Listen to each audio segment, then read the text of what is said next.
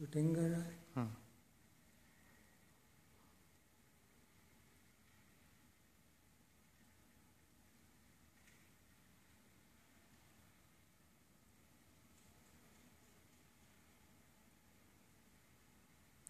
इसको दिखाने का